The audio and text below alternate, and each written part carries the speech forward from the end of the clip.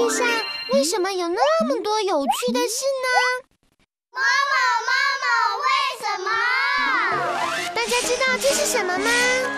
是牛。没错，斗牛士正在斗牛呢。但是你们发现了吗？牛看到这块红布就会冲过去呢。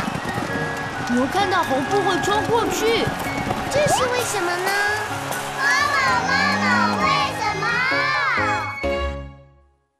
是吗？牛最讨厌红色，它生气了。还是爱呢？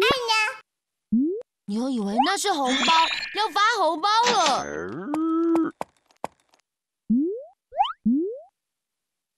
该不会是三吧？牛暗恋斗牛士很久了啦。不是这样的哦，让我来告诉大家为什么。